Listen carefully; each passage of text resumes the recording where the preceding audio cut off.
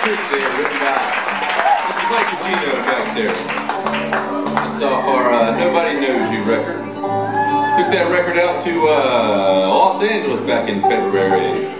It won the Grammy for Best Bluegrass Album. So. Uh,